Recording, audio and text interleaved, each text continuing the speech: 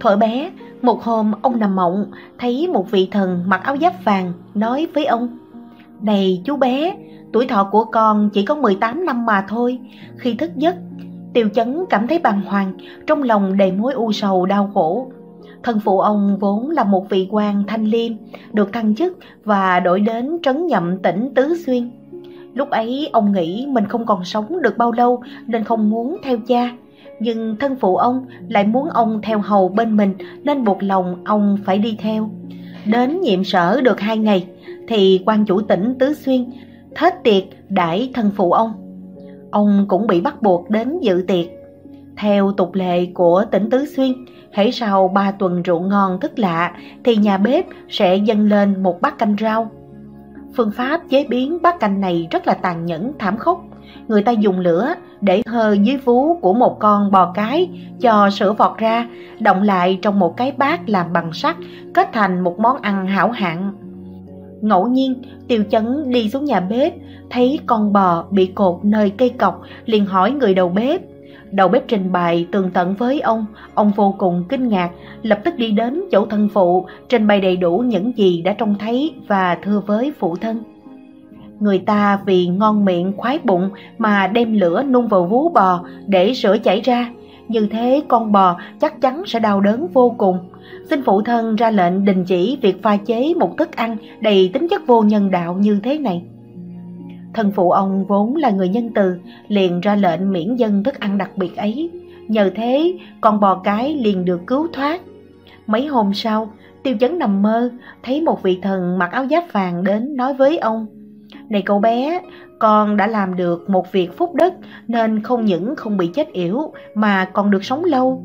Làm quan đến tể tướng, hy vọng con sẽ thương yêu, bảo vệ mọi loài sinh linh nhiều hơn nữa.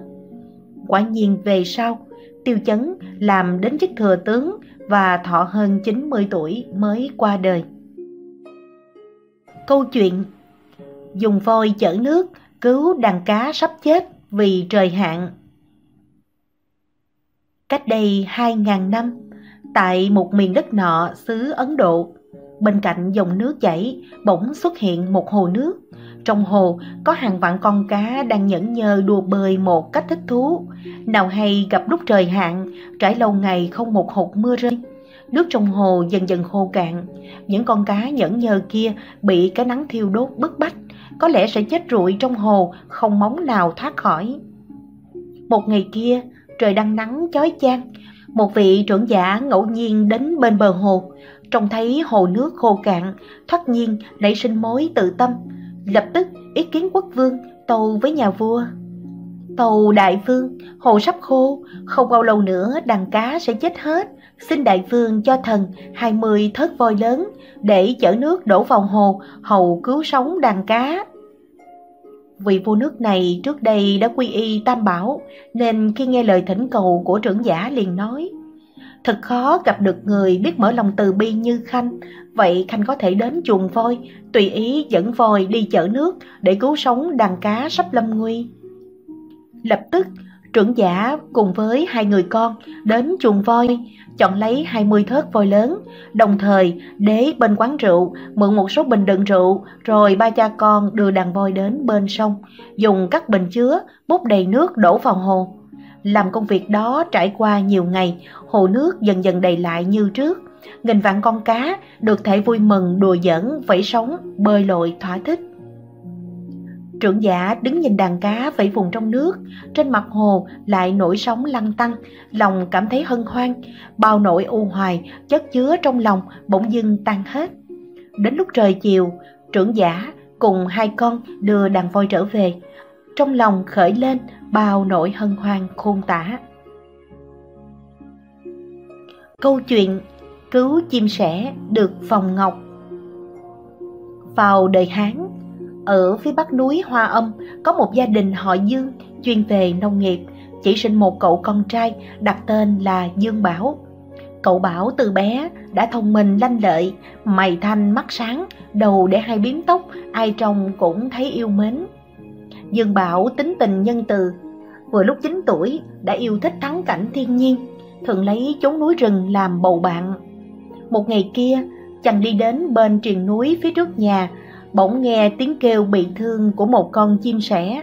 Ngoái đầu nhìn lên trên không, chợt thấy một chú diều hâu đang gấp một con sẻ vàng. Nhận thấy có người nên diều hâu kinh hãi để rơi chim sẻ đang bị thương xuống đất.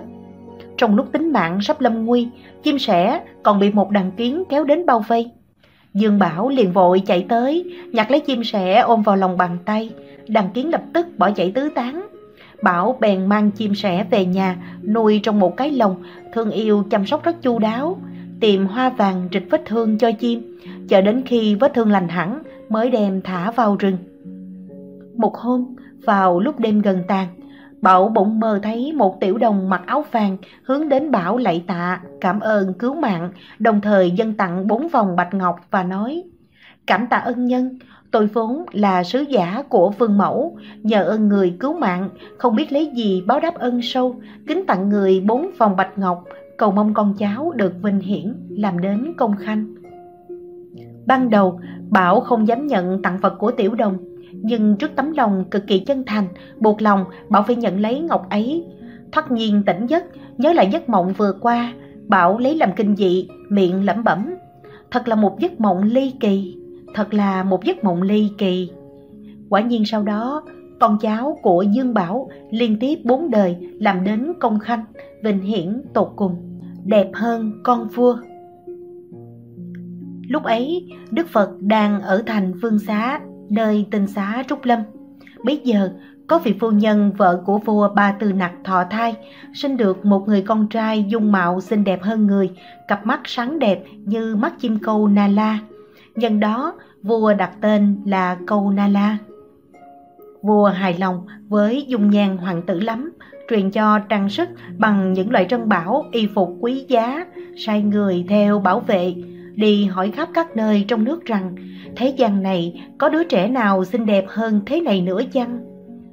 Bây giờ có người khách thương đi buôn xa, nghe được lời ấy liền tâu lên rằng Xin đại vương đừng giận dữ, cũng đừng bắt tội nô tài này thì mới dám lời thật.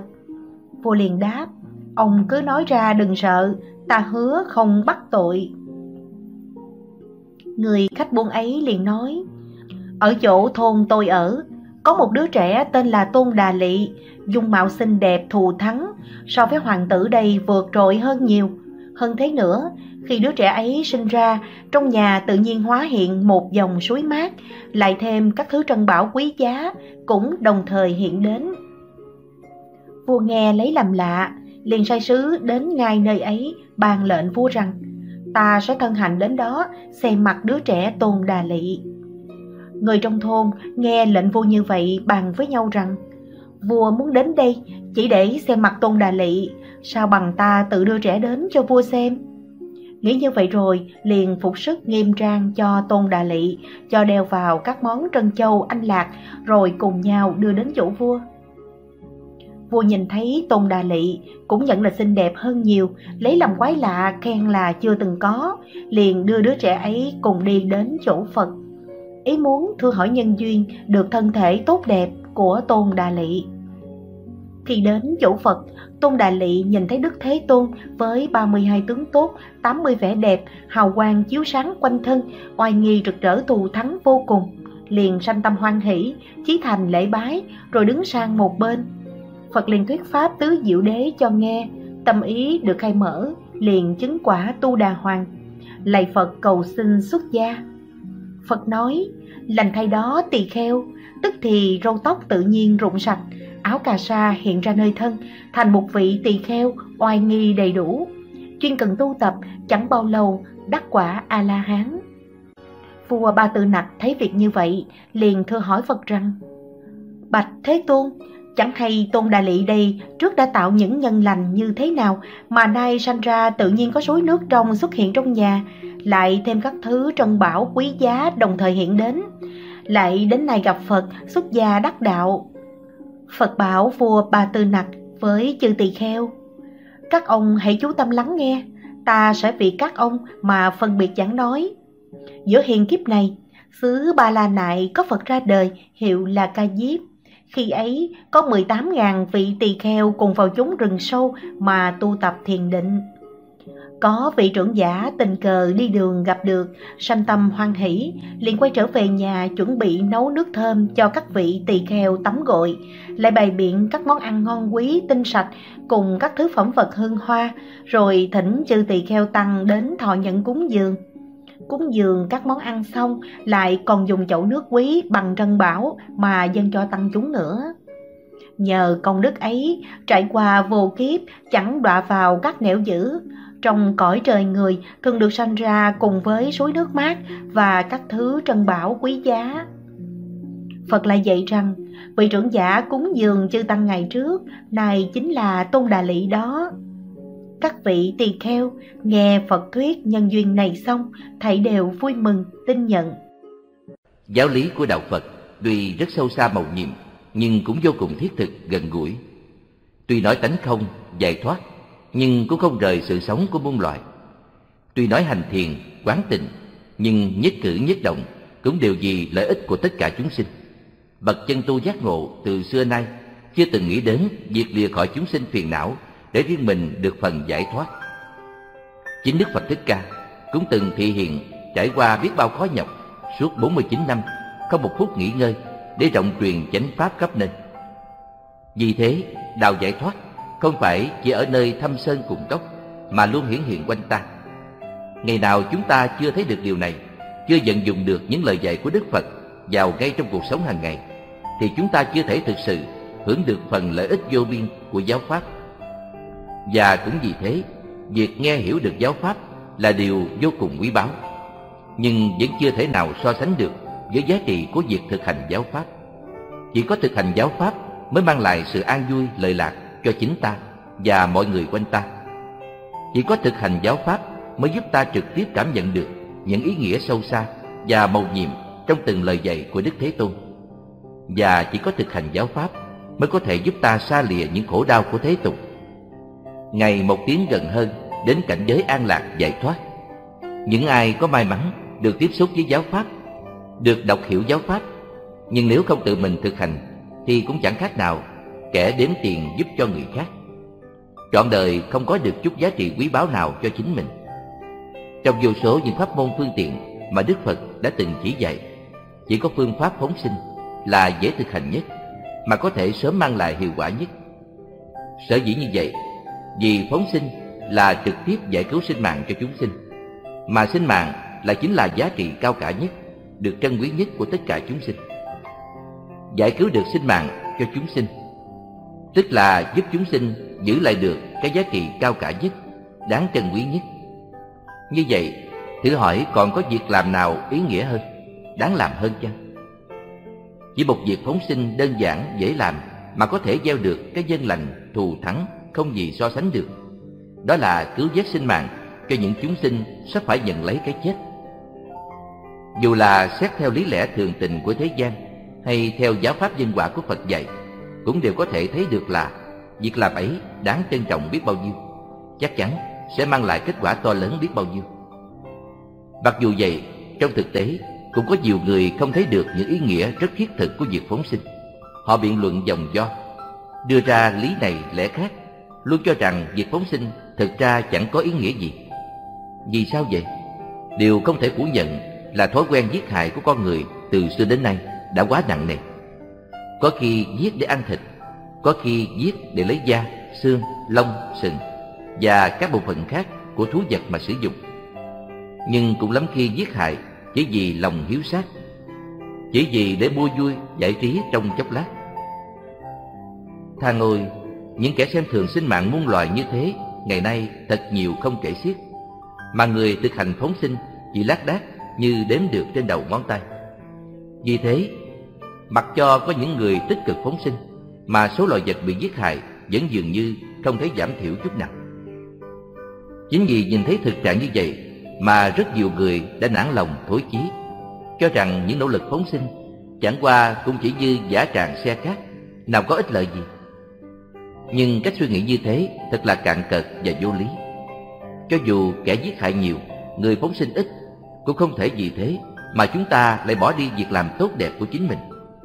Giống như sau một trận động đất Người chết nhiều như rơm rạ Mà người còn sống chẳng có bao nhiêu Dù nỗ lực suốt ngày trời chẳng qua cũng chỉ tìm cứu được một vài sinh mạng. Nhưng cũng không thể vì thế mà bỏ đi công việc tìm kiếm cứu nạn. Hơn nữa, lại càng phải dốc sức đào bới, tìm kiếm tích cực hơn. May ra còn có thể kịp thời cứu sống được những nạn nhân khốn khổ đang bị đè trong đất đá. Cũng vậy, đồng loài của chúng ta càng ra sức giết hại thì ta càng phải tích cực hơn trong việc phóng sinh. Hầu có thể cứu chuộc được phần nào những tội lỗi nặng nề mà những kẻ si mê kia đang ngày đêm tạo tác. Mặt khác, cũng có không ít người mang nặng ý tưởng phân biệt giữa sự sống của con người với sự sống của loài vật. Họ cho rằng chỉ có con người mới thực sự có quyền được sống, còn loài vật sinh ra vốn chỉ để phục vụ đời sống con người. Dù có giết chết bao nhiêu con vật, cũng chẳng có gì là tội lỗi. Thật ra, những lập luận như thế thường chỉ là tự dối gạt chính mình để bảo vệ cho việc làm sai trái của mình mà thôi.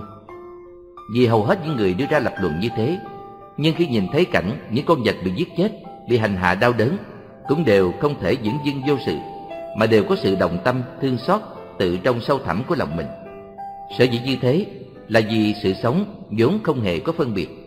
Cho dù là những con vật nhỏ hay lớn, sống trên cạn hay dưới nước, cũng đều biểu lộ những phẩm tính hoàn toàn giống nhau đối với sự sống còn. Tất cả đều thực hiện ham sống sợ chết, đều biết sợ hãi, đau đớn, mừng vui, yêu thương, quán giận. Như thế thì dựa vào đâu để tự cho rằng chỉ có con người mới có quyền được sống? Hơn nữa, nếu như trên thế giới này chỉ còn lại duy nhất loài người, liệu chúng ta có vui sống được hay chăng? Thật ra, muốn thấu hiểu mọi ý nghĩa sâu xa của việc phóng sinh cũng không phải là việc dễ dàng. Vì thế, các vị tổ sư từ xưa nay đã không có ích gì dành trọn cuộc đời để tuyên dương, giảng giải và khuyến khích mọi người cố gắng làm việc phóng sinh. Trong tập sách này, chúng tôi ghi lại những lời dạy của Pháp Sư Viên Nhân, một bậc cao tăng thạc đức, người đã hết lòng cổ suý cho việc phóng sinh. Sự giảng giải của Ngài tuy nhiều chỗ đơn sơ mà không kém phần sâu sắc, thể hiện rõ trí tuệ của một bậc cao tăng thực tu, thực chứng. Hy vọng có thể qua đó mà giúp cho nhiều người hiểu sâu thêm về ý nghĩa và công đức của việc phóng sinh. Chúng tôi biên soạn sách này gồm hai phần, nhắm đến việc giảng dụ từ những ý nghĩa căn bản nhất cho đến sâu xa, thâm thúy nhất của việc phóng sinh. Vì thế, hy vọng là có thể phù hợp với nhu cầu tìm hiểu của đông đảo độc giả, từ những người đã am hiểu phần nào cho đến cả những người sơ cơ chưa từng nghe biết đến. Về phần giảng, ngoài những lời dạy của lão pháp sư Viên Dân, chúng tôi cũng dẫn thêm quan điểm, ý kiến cũng như lời dạy của nhiều vị tổ sư, các bậc danh tăng từ xưa nay, kể cả những vị đương đại. Trong phần này, phần lớn tư liệu là do chư tăng ở diện chuyên tu Đại Tòng Lâm cung cấp. Chúng tôi xin chân thành cảm ơn và ghi nhận sự đóng góp quý báu của quý thầy. Về phần dụ, chúng tôi ghi lại những câu chuyện xưa nay minh họa cho ý nghĩa và kết quả của việc phóng sinh. Chủ yếu là cho thấy việc thực hành phóng sinh được phước báo ra sao, cũng như việc giết hại sinh mạng phải chịu những quả báo như thế nào. Trong phần này, ngoài sự giúp đỡ của quý thầy ở diện chuyên tu, chúng tôi cũng dần được tập sưu tầm của sư cô Linh Lạc do sư cô Linh Bửu chuyển đến, và đặc biệt là chuyện kể của Đại Đức Thích Nhuận Châu ở tỉnh Thất Từ Nghiêm, Đại Tòng Lâm. Chúng tôi xin chân thành cảm ơn sự giúp đỡ nhiệt tình của quý thầy và quý sư cô trong việc thực hiện tập sách này. Qua những lời giảng giải và những câu chuyện có xưa có nay, hội đủ các yếu tố cổ kim, chúng tôi hy vọng có thể giúp cho tất cả mọi người đều thấy rõ được giá trị của việc cứu vật phóng sinh, cũng như sự nguy hại của việc giết hại sinh mạng, mà sớm có một sự chuyển hướng tốt đẹp trong đời sống.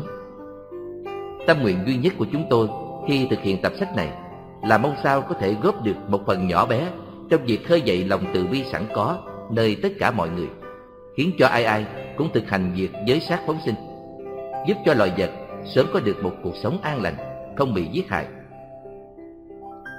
Trong quá trình thực hiện, chắc chắn không thể tránh khỏi ít nhiều sai sót. Kính mong các bậc tôn túc, trưởng thượng, rộng lòng chỉ bảo và quý vị độc giả gần xa niệm tình tha thứ những người thực hiện. Phần 1 Công đức phóng sinh Lời dẫn Kinh Phạm Võng dạy rằng Người Phật tử nếu lấy tâm từ mà làm việc phóng sinh thì thấy tất cả người nam đều là cha mình, tất cả người nữ đều là mẹ mình. Vì mình trải qua nhiều đời đều do đó mà sinh ra. Nên chúng sinh trong sáu đường đều là cha mẹ của mình. Nếu giết hại sinh mạng để ăn thịt, tức là tự giết cha mẹ mình, cũng là giết thân cũ của mình. Tất cả đất, nước là thân trước của mình, tất cả gió lửa là bản thể của mình. Cho nên, thường thực hành phóng sinh thì đời đời sinh ra thường gặp chánh pháp. Khuyên dạy người làm việc phóng sinh, nếu thấy người đời giết hại súc vật, nên tìm phương tiện để giải cứu, khiến cho chúng được thoát khổ nạn. Đức Phật có trí tuệ vô thượng, trong kinh Phạm Võng đã sớm có lời ân cần khẩn thiết khuyên rằng chúng ta. Giới sát phóng sinh thì tiêu trừ nghiệp chướng, lại trưởng dưỡng được tâm từ bi. Đức phật còn nói rõ rằng, chúng sinh trong sáu đường đều là cha mẹ ta, cứu vật sống được, tức là cứu được cha mẹ ta. Mỗi một chúng sinh đều là anh em, thân quyến, cha mẹ, con cái từ nhiều kiếp đến nay của chúng ta. Nếu đem nhãn quan của mình mở rộng đến chân tướng vô hạn của không gian, thời gian, của vũ trụ đối diện với thân quyến của mình lúc bị bắt, bị nhốt, bị giết, bị ăn thịt. Vẫn không cố gắng tận tâm, mà rụt rè do dự, không gấp rút mà giải cứu họ. Thật chẳng bằng loài cầm thú. Tuy nhiên, chính như đại sư ấn quang, tổ thứ 13 của liên tông có nói, việc giới sát phóng sinh cứ cạn cợt, dễ thấy, mà cái lý của giới sát phóng sinh thì sâu mà khó hiểu. Trong thời mạt pháp mờ mịt như ngày nay, chánh pháp suy di ma đạo thịnh hành, tánh người ngu tối thấp hèn, chúng sinh nghiệp chướng sâu nặng, bị vô minh che lấp, không có trí tuệ để chọn lấy pháp môn thù thắng, đơn giản, dễ thực hành này. Không có phước báo để tiêu trừ sát nghiệp vô tận nhiều đời tạo nên. Vì vậy nên đề xướng việc phóng sinh ngày nay thật là khó khăn. Thường gặp phải sự cản trở phê phán rất nhiều. Thường thường vừa gặp phải sự phê bình thì có nhiều cư sĩ phóng sinh đã bất hẳn niềm tin. Sinh lòng thối chuyển tiếp đó thì bỏ đi cơ hội tiêu trừ nghiệp chướng. Khó làm mà làm được mới đáng quý. Trong thời mặt pháp hôm nay, có một vị không sợ bị chê cười, quỷ bán, dị nghị, bất kể sự phê bình cản trở khó khăn đối với việc phóng sinh vẫn cật lực đề xướng. Đó là lão pháp sư viên nhân. Lão pháp sư đối với cư sĩ đến thịnh pháp đều khuyến khích, phải hết lòng niệm phật, lấy giới làm thầy. Ngoài ra, đối với việc giới sát phóng sinh đặc biệt nhấn mạnh chú trọng. Lão pháp sư thường hay khuyên rằng chúng ta, phóng sinh tức là trả nợ, trả vô số nợ sát sinh từ nhiều đời nhiều kiếp đến nay. Người đời nay nhiều bệnh tật đau khổ đều là do thiếu món nợ sát sinh từ kiếp trước mà có. Trả nợ sát sinh chỉ có phương pháp hay nhất là phóng sinh, cứu mạng kẻ khác cũng như cứu mạng mình. Tức là trả món nợ sát sinh trước kia đã thiếu. Lão pháp sư viên nhân dạy nhân quả báo ứng như bóng theo hình. Sát sinh tự có ác báo của sát sinh. Phóng sinh tự có thiện báo của phóng sinh. Đừng nên để ý đến sự phê bình, quỷ bán của kẻ khác. Chúng ta thực hành thiện nghiệp của mình, kẻ khác tạo ác nghiệp của chính họ. Mai sau, quả báo hiện tiền, thiện ác nhân quả báo ứng, tuyệt đối không bao giờ sai được. Dưới sự chỉ dạy của lão pháp sư, những cư sĩ phóng sinh, chẳng những tiêu trừ được túc nghiệp, mà trong quá trình phóng sinh là càng nuôi dưỡng được tấm lòng từ bi, thể hội được chân lý. Dạng vật chúng sinh bình đẳng nhất như, đều có đầy đủ phật tánh, đều có thể thành phật. Sự chuyển biến của loại tâm từ bi này chẳng phải hạng người chỉ biết phê phán, chỉ trích kia có thể lãnh hội được trong muôn một trong nghĩa cử cao đẹp của việc phóng sinh, bao nhiêu những chứng bệnh ung thư, ác tật đều tiêu mất trong vô hình. Bao nhiêu sự kiện cảm ứng nhiệm màu thật chứng từ miệng các cư sĩ thường xuyên kể lại, bao nhiêu hình ảnh của loài vật cảm ơn thị hiện trước mắt.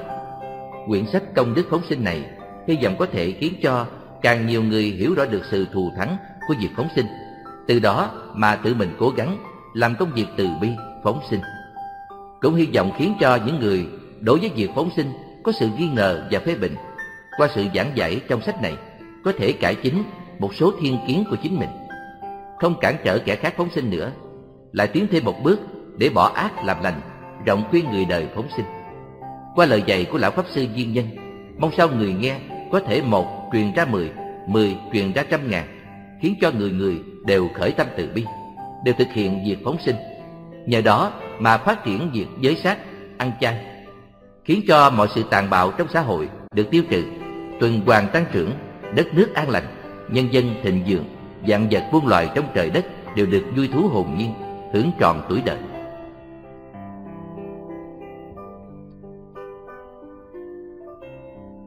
Chương 1 Phóng sinh là gì? Thế nào gọi là phóng sinh? Phóng sinh tức là nhìn thấy các loài chúng sinh có mạng sống đang bị bắt nhốt, giam cầm, sắp sửa bị giết hại, kinh hoàng lúng túng. Mạng sống trong phút giây nguy ngập, liền phát lòng từ bi, tìm cách cứu chuộc. Như vậy tức là hành vi giải thoát, phóng thích, cứu lấy mạng sống. Luận Đại Trí Độ dạy rằng, trong tất cả các tội ác, tội sát sinh là nặng nhất. Trong tất cả các công đức, không giết hại là công đức lớn nhất. Tại sao phải phóng sinh? Nói một cách đơn giản, phóng sinh tức là cứu chuộc mạng sống. Chúng ta đã tạo sát nghiệp nặng nề từ nhiều đời nhiều kiếp đến nay. Kinh Hoa Nghiêm dạy rằng, nếu ác nghiệp này có hình tướng thì cho đến cùng tận hư không cũng không dung chứa hết. Chúng ta ngay trong kiếp này tạo nghiệp giết hại chúng sinh, quả thật đã không thể tính đếm được. Huống chi là đã tạo trong nhiều đời nhiều kiếp. Nên biết chân lý, có nợ phải trả, có tội phải báo. Xét lại tự thân mình đã tạo biết bao nhiêu nghiệp giết hại, chẳng tránh khỏi phải khủng hoảng, xấu hổ. Thật không đất dung chứa. Sao có thể không tự mình kịp thời sám hối, cố gắng phóng sinh, hầu mong đền trả nợ nần trong muôn một. Việc phóng sinh có thể trưởng dưỡng tấm lòng từ bi của mình, nên khởi lòng bi mẫn phóng sinh, xem sinh mạng của loài vật như sinh mạng của chính mình.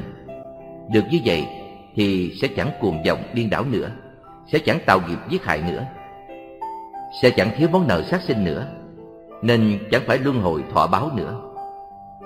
Kinh Dược Sư Lưu Ly bổ nguyện công đức dạy rằng, cứu thả các sinh mạng được tiêu trừ bệnh tật, thoát khỏi các tai nạn.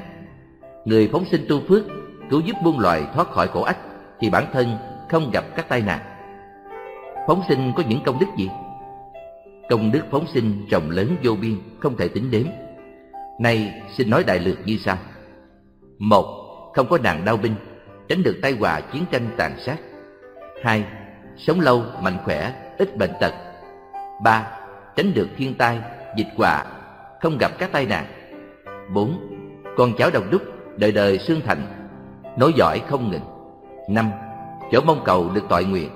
Sáu, công việc làm ăn phát triển, hưng thành, gặp nhiều thuận lợi.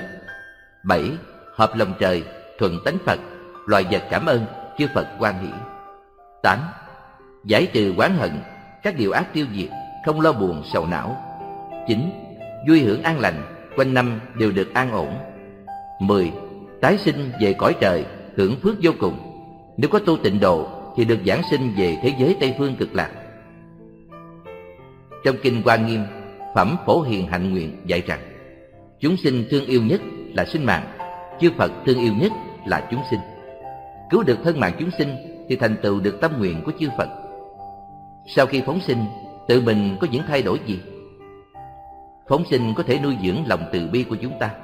Trong khi thực hiện việc phóng sinh, chúng ta nhân đó có thể thấu hiểu được chân lý dạng vật đều bình đẳng, đều có cảm giác, đều có tánh Phật, đều có thể thành Phật. Nhờ đó, chúng ta có thể khởi tâm từ bi với hết thảy chúng sinh, lại còn tôn trọng trân quý. Tiến thêm một bước nữa, trong cuộc sống hàng ngày có thể thực hiện việc giới sát, ăn chay, cứu giúp sinh mạng muôn loài. Các điều ác không làm, các điều thiện cố gắng làm, khởi tâm từ bi đối với tất cả muôn loài trên thế gian. Nên biết rằng, tâm Phật là từ bi. Khi chúng ta nuôi dưỡng lòng từ bi, thì tâm ta với tâm Phật hợp nhau, chư Phật quan nghĩ thì tự nhiên dễ có sự cảm ứng đạo văn, Việc học Phật tự nhiên dễ dàng thành tựu. Trong kinh Phạm Võng Bồ Tát Tác Giới Sám Văn có dạy Phật tử không được tự mình giết hại, dạy người giết hại, dùng phương tiện giết hại, tán thành việc giết hại, hoặc thấy người khác giết hại mà vui mừng tán thành. Tất cả các loài có sự sống, có sinh mạng đều không được giết hại. Bồ Tát phải luôn phát khởi, gìn giữ tâm từ bi, hiếu thuận, dùng phương tiện mà cứu mạng, bảo vệ cho tất cả chúng sinh. Người thích sát sinh thì làm ngược với bốn tâm vô lượng, từ bi, hỷ, xã Như vậy là phạm vào tội ba la di của hàng Bồ Tát. Tại sao hiện nay có nhiều người phản đối và chỉ trích việc phóng sinh? Phóng sinh là phương pháp dễ dàng nhất để tiêu trừ nghiệp chướng lại đơn giản dễ làm. Chỉ cần phát tâm tùy thời tùy chỗ, một người hay nhiều người, nhiều tiền hay ít tiền đều có thể phóng sinh. Chính vì phóng sinh thù thắng nhiệm màu như vậy mà nhiều đời nhiều kiếp đến nay, chúng ta có biết bao nhiêu quan gia, trái chủ, tà ma, ngoại đạo đều không muốn chúng ta tiêu trừ nghiệp chướng, thành tựu đạo nghiệp một cách đơn giản như vậy. Vì thế nên chúng dùng trăm phương nghìn kế để tăng trưởng vô minh, làm lẫn lộn sự thấy nghe, mê hoặc nhân tâm, cản trở người ta phóng sinh. Kinh chánh pháp niệm có dạy, tạo một ngôi chùa chẳng bằng cứu một sinh mạng. Công đức phóng sinh to lớn đến như thế. Hỏi, có thể nào nói rõ một cách đơn giản đạo lý của việc phóng sinh? Đáp, có những điểm rất dễ thấy, dễ biết như sau. Một, nhân quả báo ứng như bóng theo hình, mãi mai không thay chạy. Gieo nhân gì thì gặt quả ấy. Đó là chân lý ngàn đời không thay đổi. Phóng sinh tức là cứu sống sinh mạng. Đã gieo dân lành, ắt phải được quả lành. Cản trở và phê phán việc phóng sinh tức là làm phương hại việc cứu sống sinh mạng. Đã gieo dân ác, ắt phải gặp quả ác. Hai, muôn loài chúng sinh đều có sự sống, đều biết tránh nơi hung dữ, tìm chỗ an lành, đều biết tham sống sợ chết, đều có vui, buồn, yêu, ghét. Người thực hiện việc phóng sinh thì loài vật đều âm thầm cảm ơn và luôn mong có dịp báo đáp. Muôn loài chúng sinh đều có đủ Phật tánh như chúng ta. Nếu so sánh với nhau đều không hơn không khác. Chỉ vì ác nghiệp trước đây sâu nặng nên chúng phải sinh làm các loài xuất sinh. Ngày nào nghiệp chướng tiêu trừ, phát tâm tu tập thì cũng đều có thể chứng thành quả Phật. Vì thế, ngày nay thực hiện việc phóng sinh, cứu được một mạng sống cũng giống như cứu được một vị Phật trong tương lai. 4. Muôn loài chúng sinh cùng với ta trong luân hồi từ vô thủy đến nay đều đã từng là anh em, thân quyến. Vì thế, ngày nay thực hiện việc phóng sinh cũng giống như cứu vớt người thân của mình. năm, Muôn loài chúng sinh cùng với ta trong luân hồi quá khứ đều đã từng là quan gia cừu địch. Vì thế, ngày nay thực hiện việc phóng sinh là cơ hội có thể hóa giải quán thù, chấm dứt sự quan quan tương báo. Hỏi, nay dù chúng ta cố sức làm việc phóng sinh, nhưng còn biết bao người khác vẫn khăng khăng tìm cách bắt giết, như vậy thì có ý nghĩa gì? Đáp, người phóng sinh có công đức của việc phóng sinh, kẻ bắt giết có tội lỗi của việc bắt giết. Chúng ta là người tạo công đức của chính mình, người khác bắt giết gây ra tội lỗi của chính họ. Mọi việc trong thế gian đều tương đối tồn tại. Có thiện tất có ác, có ngay thẳng tất có gian tà.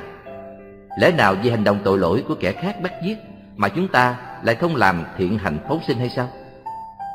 Như bác sĩ chữa trị cho bệnh nhân, cũng không thể bảo đảm bệnh nhân sẽ mãi mãi mạnh khỏe. Gặp khi mất mùa phát tâm cứu tế, cũng không thể bảo đảm dân nghèo về sau mãi mãi chẳng đói thiếu. Mọi việc trong thế gian đều là như vậy. Tại sao chỉ có một việc phóng sinh là đặc biệt nghi ngờ?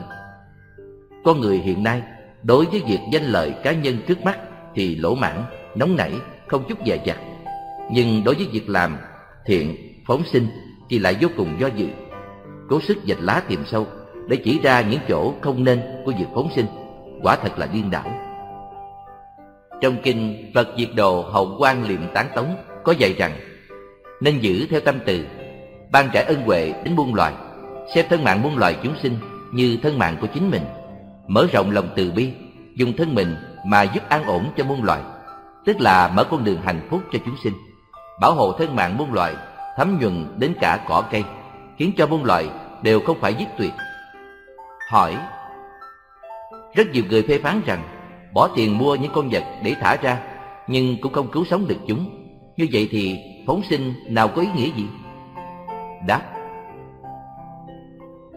Cần nêu rõ mấy ý như sau Thứ nhất, những con vật thả ra mà không sống được chỉ là một số ít Tuyệt đại đa số những con vật phóng sinh đều được sống còn nếu ta không làm việc phóng sinh thì tất cả những con vật ấy đều bị giết hại Vậy không thể vì một số ít con vật bị chết mà hoàn toàn phủ nhận nghĩa cử cao đẹp của việc phóng sinh như vậy, há chẳng phải vì mắc nghẹn mà bỏ ăn sao?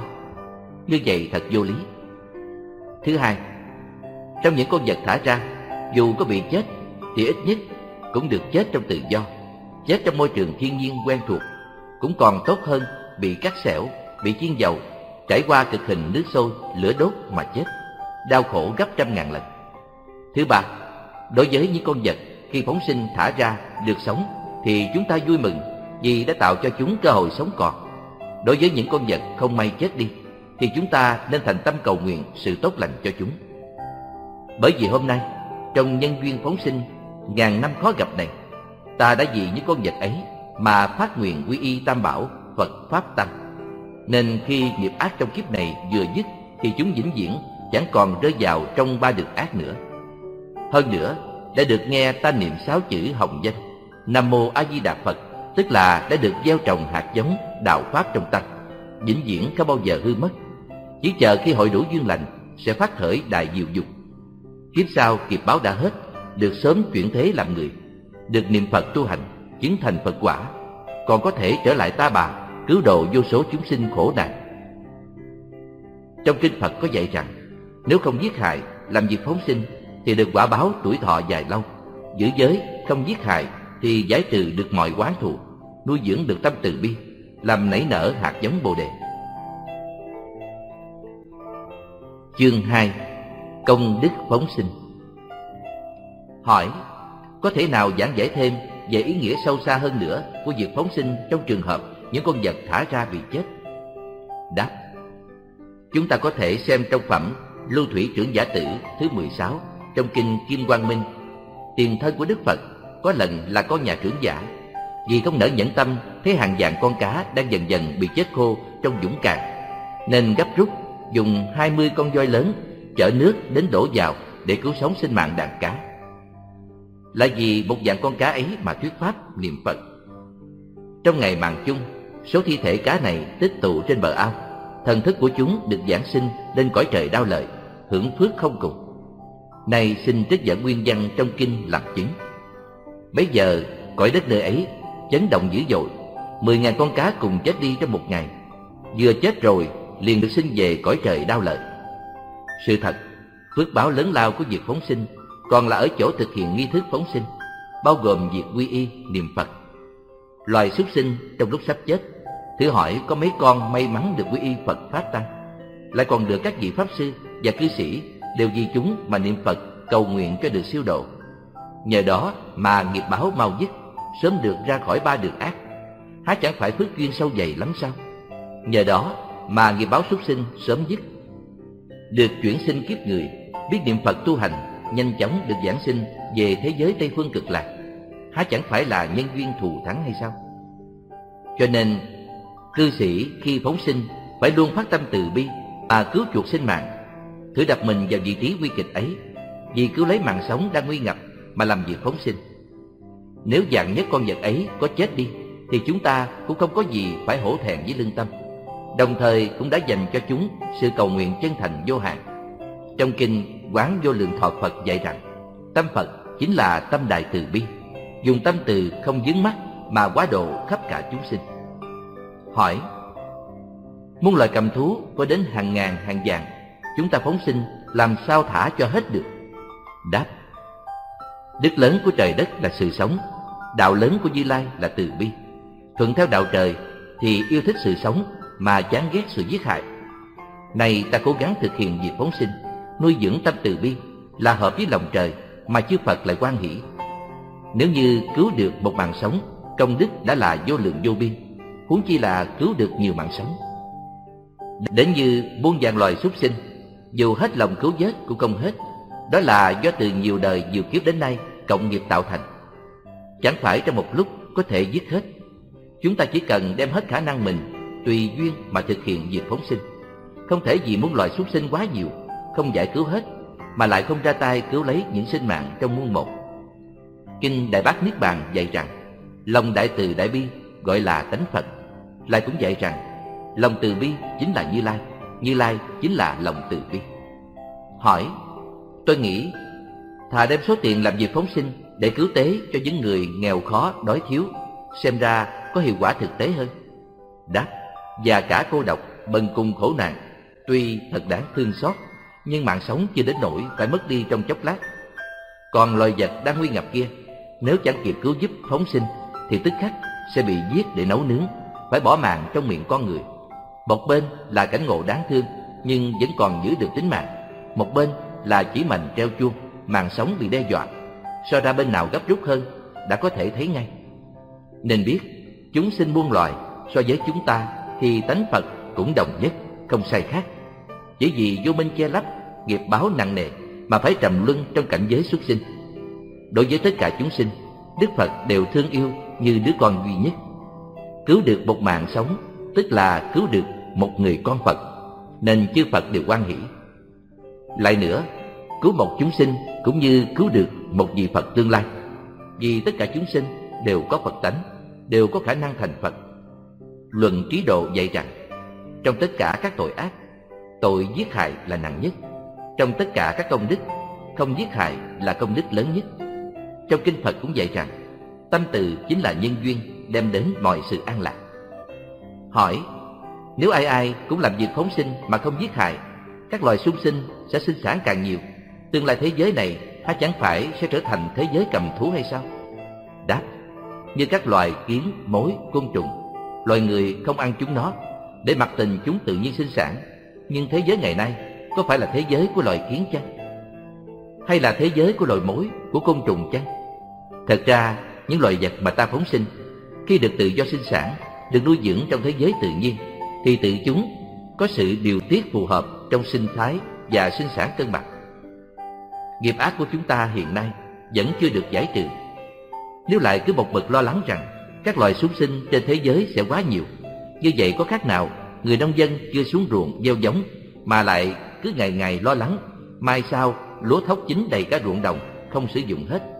Lo lắng vô cớ như thế, há chẳng phải là buồn cười lắm sao? Nên biết rằng nhân quả báo ứng như bóng theo hình, mãi mai không sai chạy. Hiện nay trên thế giới, sở dĩ cầm thú rất nhiều, chính là vì trước kia những người giết cầm thú quá nhiều, nay phải quá sinh làm cầm thú.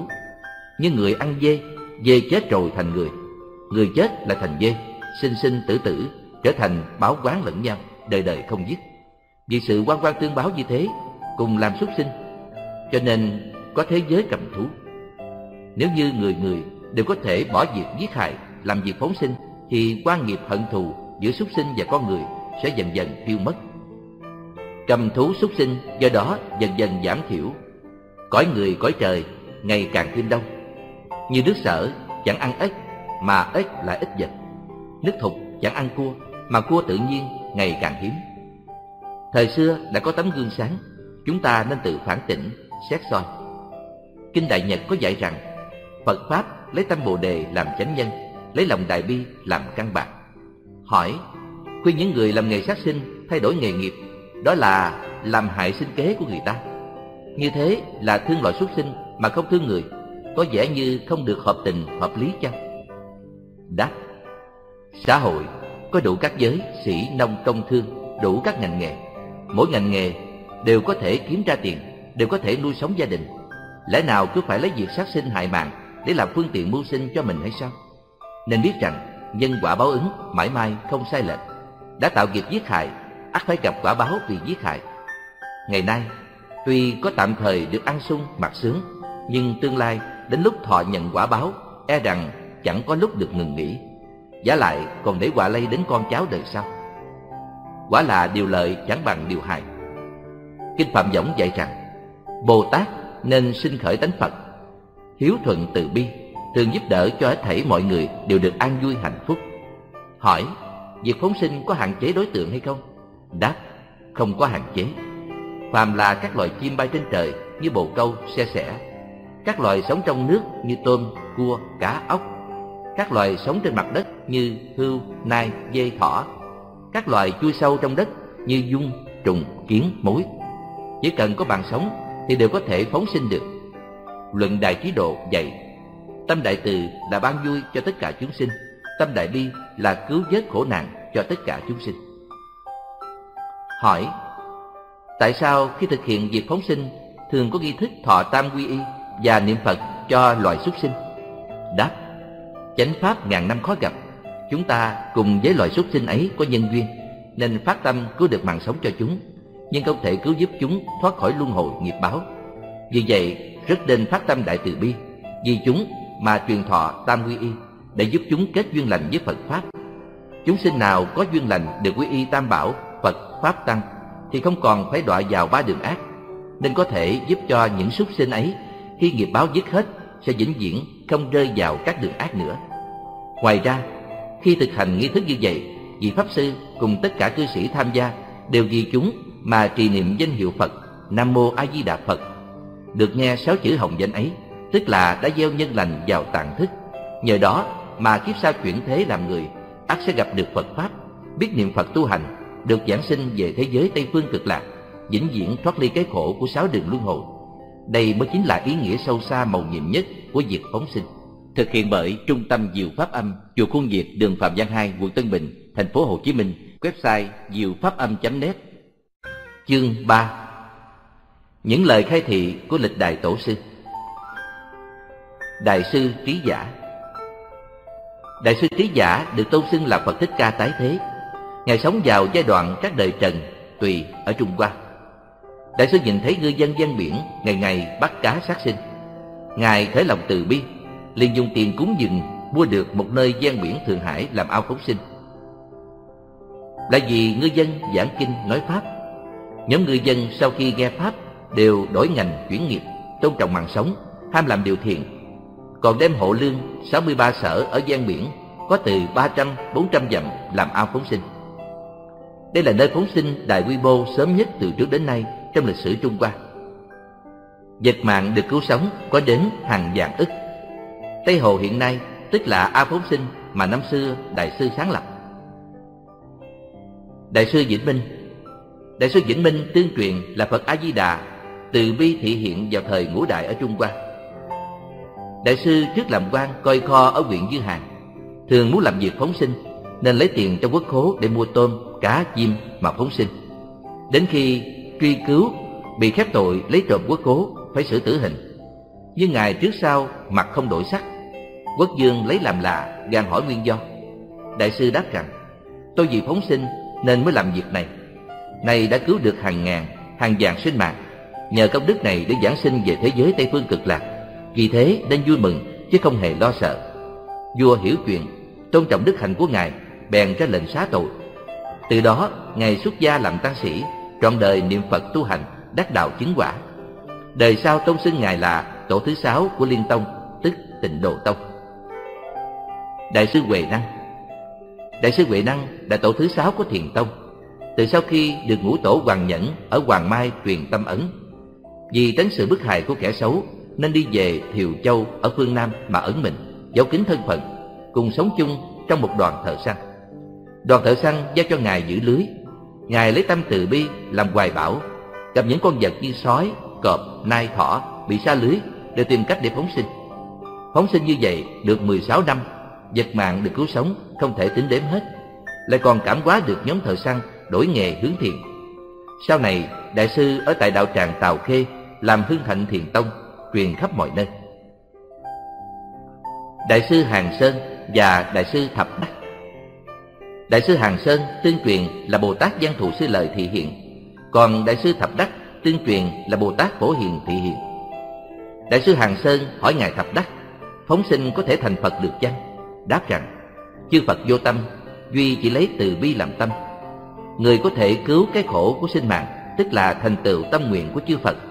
Cho nên, sinh một niệm từ bi, cứu sống một sinh mạng, tức là tâm nguyện của Bồ Tát Quán Thế Âm vậy. Ngày ngày làm việc phóng sinh thì tâm từ bi cũng ngày ngày tăng trưởng, mãi mãi không ngừng. Niệm niệm đều chảy vào biển lớn đại từ bi của Đức Quán Thế Âm. Khi ấy, tâm ta tức là tâm Phật, sao lại chẳng thành Phật?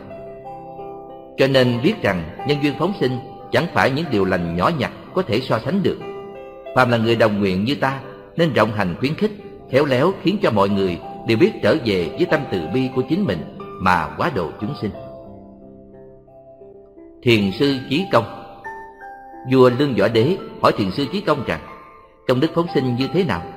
Thiền sư đáp rằng Công đức phóng sinh không thể hạn lượng.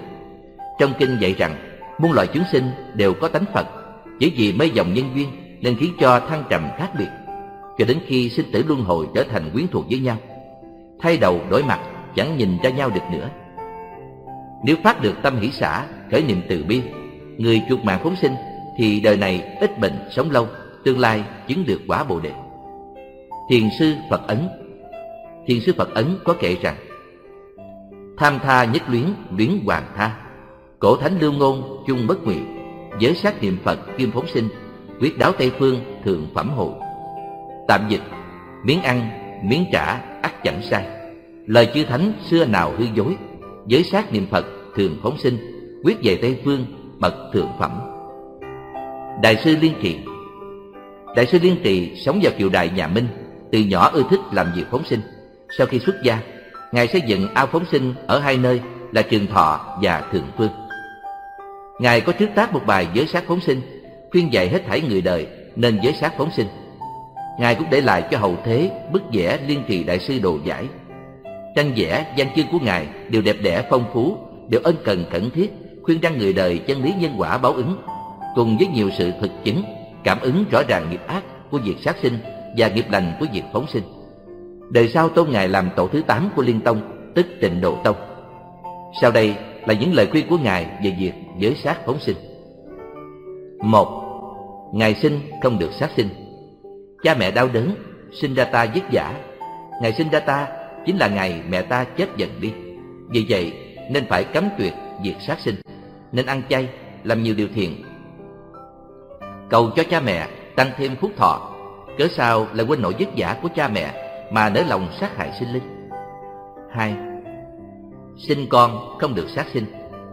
Không có con, ắt phải buồn lo. Sinh được con thì rất vui. Sao không nghĩ xem Loài cầm thú cũng biết thương yêu con. Cớ sao mình sinh con ra Lại khiến cho con của loài khác phải chết? Như vậy có thể yên tâm được sao? Thằng ôi, đứa trẻ vừa mới sinh ra, Đã không vì nó tích đức Mà lại sát sinh. Thế chẳng là mê muội lắm sao? Ba, Cúng dỗ không được sát sinh. Khi cúng dỗ, Người đã khuất hoặc tảo mộ vào tiết xuân thu, đều nên cấm việc sát sinh để tạo phước đức. Trong tự nhiên sẵn có tám loại thực phẩm quý để dân cúng, đâu thể bới xương cốt với cửu tuyền lên mà ăn sao? Sát sinh để dân cúng chính là đại bất hiếu. 4. Hôn lễ không được sát sinh. Việc cứ hỏi ở thế gian có đủ nghi lễ thì thành chồng vợ, nào có phụ thuộc vào việc sát sinh. Lập gia đình là đã bắt đầu nghĩ đến việc sinh con. Trước lúc sinh con mà làm việc giết hại quả là nghịch lý. Như vậy là ngày lễ tốt lành mà lại làm việc hung dữ giết hại, chẳng phải là mê muội lắm sao? năm Đãi khách không được sát sinh. Ngày lành cảnh đẹp, chủ hiền đãi bàn rau, gạo, quả trà, không trở ngại chi đến cảnh trí nhà Phật. Cớ sao là giết hại mạng sống, cùng cực béo ngọt, vui ca say xưa với cốc chén, giết hại quan uổng bao mạng sống trên mâm ăn. Thang ôi, người có tấm lòng, nhìn thấy như vậy chẳng buồn lắm sao? Sáu. Cầu an không được sát sinh Người đời có thói quen sát sinh để tế thần, mong thần phù hộ. Không nghĩ rằng mình tế thần là muốn tránh cái chết, cầu sự sống. Nhưng giết hại mạng sống loài khác để mong cho mạng mình sống lâu quả thật là nghịch lý, tàn độc, hung ác. 7. Buôn bán sinh sống không được sát sinh Phàm là con người, ai cũng phải vì cơm ăn, áo mặc hoặc phải đi săn bắt, hoặc phải xuống nước bắt cá mò tôm, hoặc phải giết trâu bò, lợn chó. Cũng chỉ vì kế sinh nhai. Nhưng xét lại, những người không làm các nghề này cũng vẫn có cơm ăn áo mặc. Đâu vì thế mà phải chết đói chết rét. Làm nghề sát sinh, ắt sẽ chịu quả báo bị giết hại. Lấy việc giết hại mà được giàu có thì trăm người chẳng có lấy một. Ngược lại, còn phải chịu ác báo trong nay mai. Không có gì nguy hại hơn thế. Sao không cố gắng thay đổi nghề nghiệp Chọn những cách sinh nhai hiền lành Chẳng phải tốt hơn sao? Người Phật tử phải luôn tâm niệm bảy điều này Để làm kim chỉ nam trong đời sống hàng ngày. Người giữ giới không sát sinh Được thiện thần bảo hộ Tại ách tiêu trừ Tuổi thọ dài lâu Con cháu hiếu thảo hiền lương. Mọi chuyện đều may mắn tốt đẹp.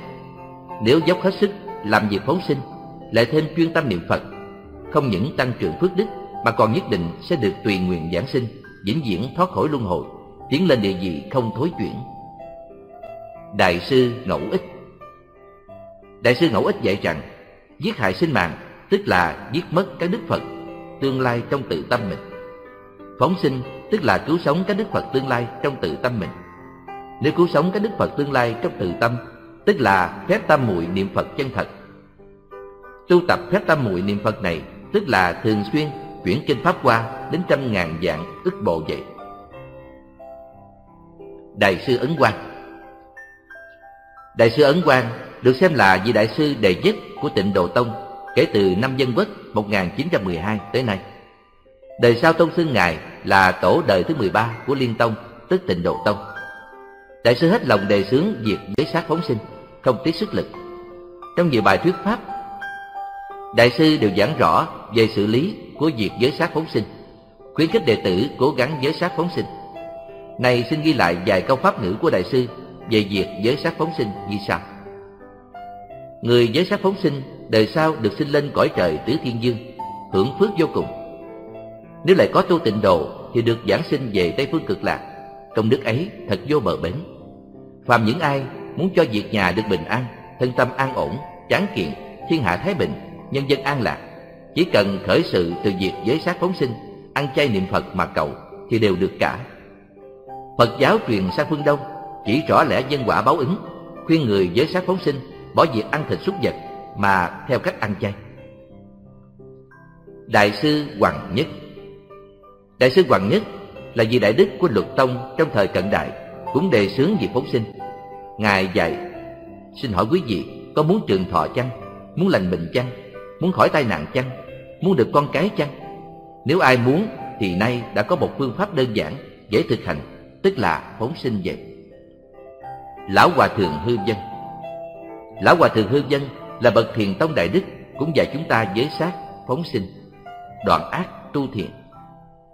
Ngày dài, đây là cơ hội buông kiếp khó gặp, chúng ta phải dũng mãnh tinh tấn, phải trong ngoài cùng tu.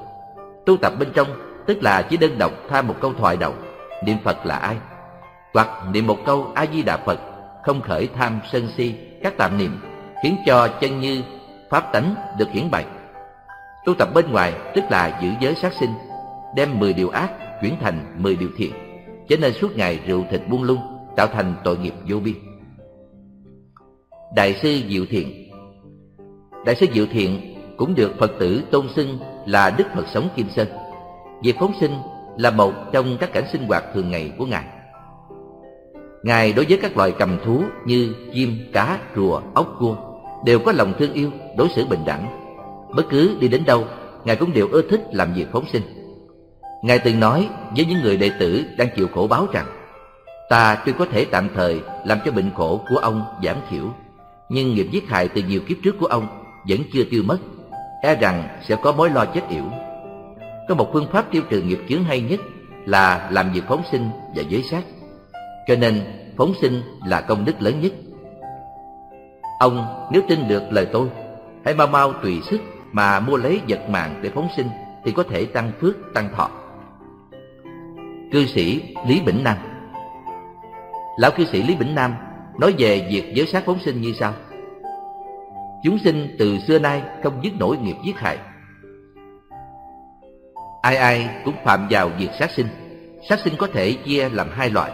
Một là trực tiếp, hai là gián tiếp. Trực tiếp là tự mình giết hại chúng sinh. Cắt sẹo lấy da thịt mà làm thức ăn. Gián tiếp là vì mình ăn thịt chúng sinh Nên khiến cho người khác phải làm việc giết hại để phục vụ mình. Cái nhân tạo ra của hai loại sát sinh này tích tụ lâu ngày, gặp duyên thì kết thành cái quả của nạn đau binh, chiến tranh.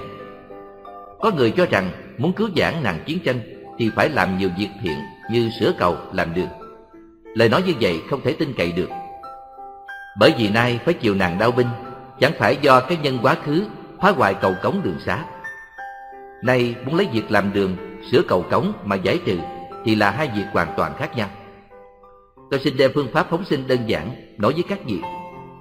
Trước tiên phải gia trì chú Đại Bi vào một ly nước sạch, rồi rưới lên mình chúng sinh được phóng sinh. Miệng niệm bài sám hối như sau. Chúng con xưa nay tạo ác nghiệp, đều do ba độc tham sân si, từ thân, miệng, ý mà sinh ra. Nay đối trước Phật cầu sám hối.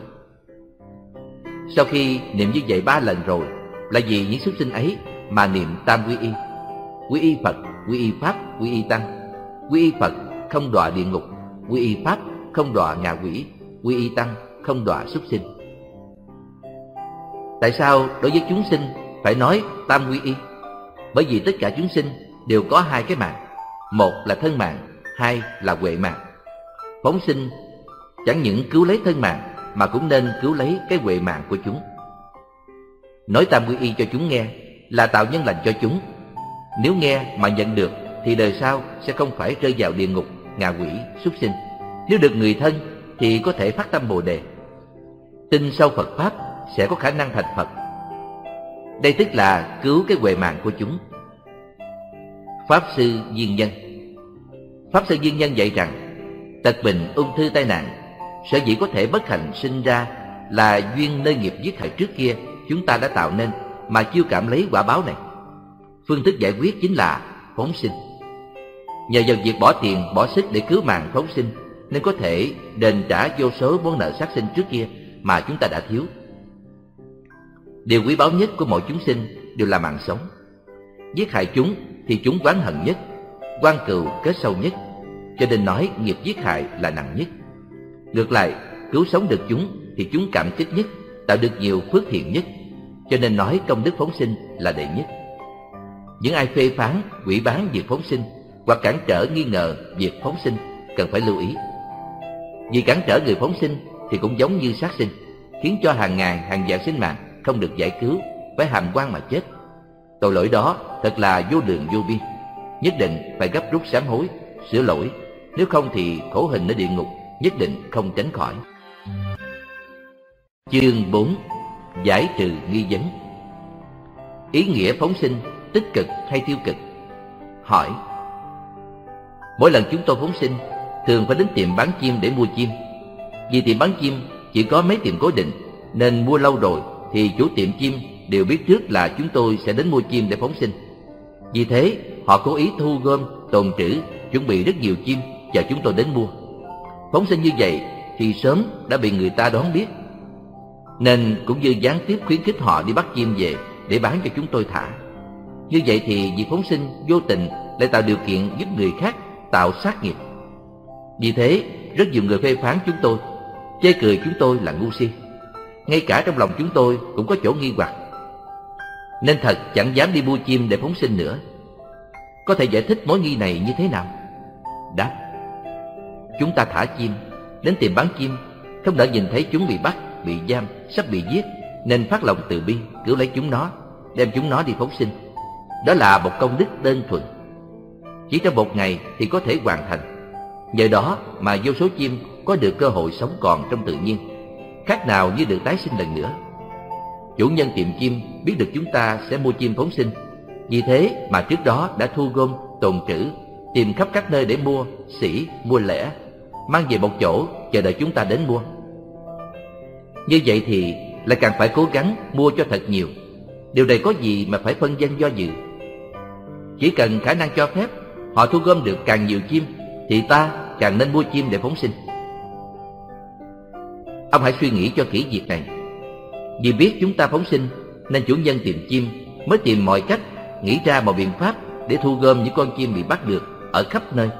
Toàn bộ đều mang về một chỗ Để chờ chúng ta giải cứu phóng sinh Tất cả những con chim khổ nạn kia Được giải cứu ắt phải mừng đến rơi lệ Tất cả thiên long hộ pháp Đều phải hết lòng tán thán việc lành này Chư Phật Bồ Tát Đều hết lòng quan hỷ khen ngợi Tất cả quán thân trái chủ của chúng ta Đều phải cúi đầu thất vọng Ma dương tà chúng phải tức giận đến dựng mày trợn mắt. Chúng ta hãy thử đặt câu hỏi. Nếu như ngày nay chúng ta không phóng sinh nữa, không thả chim nữa, thì những thợ săn bắt chim kia sẽ thôi không bắt chim nữa chăng? Các tiệm bán chim kia sẽ đóng cửa không bán được nữa chăng? Câu trả lời chắc chắn là không. Chim vẫn bị người ta tung lưới ra bắt, tiệm bán chim vẫn mở cửa buôn bán như trước. Nhưng khi ấy, những con chim xinh đẹp, quý giá thì bị bán cho người ta nhốt vào lòng để thưởng hoàng còn những con chim xấu xí giá trị không cao có thể bị bán cho người đem đi tìm nướng làm thành từng sâu chim nướng rau bán bên lề đường lại có những con chim quá xấu xí, gầy ốm, không thể bán được, nhưng rủi ro xa vào lưới. Khi ấy thợ săn chỉ chọn một số chim có giá trị đem bán. Còn những con chim tội nghiệp ấy thì đưa tay bẻ cổ một cái, rồi quăng thay trong rừng núi quan vắng. Vì thế, nếu như thật có tiệm bán chim, chỉ chuyên bán chim để phóng sinh, thì cũng chẳng sao cả. Cứ mặc tình chúng ta đến mua, Mặc tình mang đi thả, Phóng sinh là phóng sinh. Phóng sinh tuyệt đối là một việc tốt đẹp. Tìm bắn chim để phóng sinh Thì cũng chẳng khác nào một trại tập trung tù giam Để chờ đợi đại ân xá. Những con chim kia, hoặc là vui mừng Mừng vui vì có cơ hội gặp người thiện tâm phóng sinh, Cứu mạng, Hoặc là lo sợ Lo sợ rằng chúng ta đánh mất tâm niệm phóng sinh. Nếu chúng ta nhục tâm thối chí, Nghe theo những kẻ năm lần bảy lượt Đẩy đưa cản trở, Thì chúng nói dù một mảy may cơ hội sống còn Đều chẳng có. Một cuộc đối thoại phóng sinh hay phóng tử. Một thanh niên nhìn thấy bà cụ già đang thả cá phóng sinh. Chàng chú ý quan sát rồi đến gần bà cụ thắc mắc thưa hỏi. Chàng thanh niên Thưa cụ, cô hãy xem kìa. Số cá vừa thả ra đã chết đi rất nhiều. Thi thể nổi lên mặt nước. Phóng sinh như vậy chắc hẳn phải gọi là phóng tử. Như vậy thì có ý nghĩa gì đâu? Bà cụ Này cậu thanh niên Cậu hãy nhìn lại cho thật kỹ. Lẽ nào không thấy được sao? Vẫn còn một số cá lớn sống trên mặt nước, Vui mừng tung tăng bơi lội đó. Trong quá trình phóng sinh, giải cứu vật mạng, Khó lòng tránh khỏi có một phần nhỏ cá bị chết. Điều này không thể tránh được. Cũng như trong chiến tranh, Quân nhân giải cứu đồng bào bị dây Trong quá trình giải cứu, Cũng có tránh khỏi Có một vài người không may tử vong. Tuy nhiên, cũng không phải vì thiểu số bị tử vong Mà bỏ đi hành động giải cứu. Lại cũng như trong khi cấp cứu Bác sĩ cứu chữa bệnh nhân đang lâm nguy. Trong quá trình cấp cứu Cũng khó tránh khỏi một số bệnh nhân không may tử vong. Nhưng không thể vì thiểu số bệnh nhân tử vong Mà bác sĩ bỏ đi hành động cứu chữa. Chàng thanh niên Thưa cụ, lời cụ thật có đạo lý. Nếu chúng ta không làm việc phóng sinh Thì tất cả những con cá kia Chỉ duy nhất có một đường chết mà thôi. Toàn bộ đều sẽ bị bán đi Bị giết chết, bị ăn thịt. Nhờ có chúng ta làm việc phóng sinh Nên ít nhất những con cá kia vẫn còn một tia hy vọng, Một cơ hội sống sót. Tối thiểu cũng có một phần cá Được lấy lại tự do, Được cơ hội sống còn. Còn những con cá không may chết đi Thì ít nhất cũng tránh được cực hình cát xẻo Lửa đốt, nước sôi. Không có người phóng sinh thì những con vật bị bắt chỉ có duy nhất một con đường chết và lại còn phải chết một cách vô cùng thê thảm. Nhờ có người phóng sinh, ít nhất cũng có thể cho những con vật tội nghiệp kia một cơ hội sống sót. Dạng nhất chẳng may chết đi thì cũng được chết trong lòng tự nhiên chết được toàn thây giảm được sự đau khổ rất nhiều bà cụ cậu thanh niên này xem ra cậu rất có căn lành vừa nói qua thì cậu đã hiểu được ngay Kỳ thật còn có ý nghĩa sâu xa hơn nữa của việc phóng sinh là quy y tam bảo và niệm Phật. Chúng ta được biết quy y Phật không đọa địa ngục, quy y Pháp không đọa ngạ quỷ, quy y Tăng không đọa súc sinh. Trong Pháp hội phóng sinh, dưới sự chủ trì của Pháp Sư, những súc sinh trong nhân duyên ngàn năm khó gặp này sẽ được quy y tam bảo. Nhờ đó mà trải qua đời này, nghiệp báo súc sinh dứt hết thì có thể nhờ công đức quy y tam bảo mà thoát được ba đường ác lại có pháp sư và nhiều cư sĩ thiện tâm cùng chí thành vì súc sinh tụng niệm Phật hiệu Nam Mô A Di Đà Phật. Nhờ đó mà gieo vào tạng thức của súc sinh một hạt giống lành tròn đầy. Trong tương lai, hạt giống niệm Phật ấy sẽ đâm chồi thành thục, giúp súc sinh được sinh làm người, biết niệm Phật tu hành, giảng sinh về thế giới Tây phương cực lạc, vĩnh viễn thoát khỏi luân hồi, chứng đắc quả Phật. Đây mới là ý nghĩa tích cực nhất trong việc phóng sinh. Chàng thanh niên Thưa cụ, vô cùng cảm ơn những lời giải thích của cụ. Con hôm nay cuối cùng đã hiểu rõ được ý nghĩa chân chánh của việc phóng sinh. Kỳ thật, chết chỉ là một hình thức. Những con cá bị chết quả nhiên đáng thương. Nhưng ngày nay đã được quy y tam bảo, đã được nghe câu thánh hiệu bất khả tư nghị Nam Mô A Di Đà Phật, thì thọ mạng của súc sinh sớm được kết thúc, sớm được giải thoát, sớm được siêu sinh, sau này sớm biết niệm Phật tu hành. Giảng sinh về thế giới Tây Phương cực lạc. Xét như vậy thì những con cá bị chết kia cũng là có phước báo. Con trước đây cứ mãi phê phán việc vật mạng phóng sinh bị chết. Đây mới biết được chính mình là ngu si biết chừng nào. Bà cụ, cậu thanh niên này, tất cả chúng sinh trong sáu đường luân hồi đều là khổ, gồm cả chúng ta trong đó. Chúng ta phóng sinh đương nhiên phải hy vọng toàn bộ súc sinh đều được sống, hết lòng hết dạ làm cho chúng được sống còn. Nhưng nếu vẫn không may có một số chết đi chúng ta cũng phải thành tâm cầu nguyện cho chúng sớm được giải thoát, được chuyển sinh, sớm biết niệm Phật, được giảng sinh về thế giới cực lạc. Chúng ta tự mình cũng chán địa cõi ta bà, cầu sinh cực lạc, hy vọng chính mình cũng sớm dứt nghiệp báo được giảng sinh về thế giới Tây Phương cực lạc. Chàng thanh niên Thưa cụ đúng vậy, kỳ thật cái chết cũng chẳng phải thực sự bất hạnh. Có cái chết nhẹ tờ lông hồng, có cái chết nặng như Thái Sơn. Sau khi chết được siêu sinh, được giảng sinh Tây Phương cực lạc thế giới, đó mới là đại giải thoát chân chánh, mới là nơi quy trú tốt nhất của tất cả chúng sinh trong sáu đường luân hồi. Từ nay trở đi, con quyết định cố gắng phóng sinh, lại còn rộng khuyên tất cả mọi người phóng sinh. Càng phải nói với mọi người rằng, ngày nay con được hiểu rõ giá trị và ý nghĩa chân chánh của việc phóng sinh. Cảm ơn cụ, cảm ơn cụ.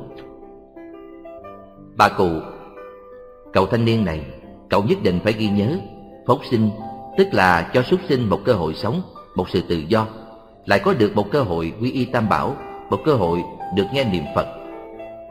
Dù thế nào cũng đừng vì những sự quỷ bán cản trở mà khiến cho vô số súc sinh đang thọ khổ nạn kia phải mất đi cơ hội sinh tồn. Chàng thanh niên, thưa cụ đúng vậy, phóng sinh cũng là dành cho chính chúng ta một cơ hội cứu thân chuộc mạng. Đền trả nợ giết hại, một cơ hội rộng chứa phước điền, tiêu trừ nghiệp chướng, chứ định không thể vì bất cứ sự cười chê nghị luận, phê phán nào mà thối tâm nhục chí, bỏ lỡ đi cơ hội quý báu nhất để tiêu trừ nghiệp chướng của chính mình. Chương năm, Bốn Pháp Bảo một Sám hối Khi chưa học Phật, thường cống cao ngã mạn, tự cho mình là đúng. Sống trong đời mỗi ngày đều mưu tính làm cách nào để cho mình được hơn người một bậc. Làm cách nào để có được gia tài đồ sộ. Làm cách nào để thân mình đeo đầy vàng bạc. Làm cách nào để thanh danh gian xa. Suốt một ngày có 24 giờ, mỗi khi thức dậy đều đuổi theo tham sân si. Ngay cả trong giấc ngủ cũng bị ba món độc này trói buộc.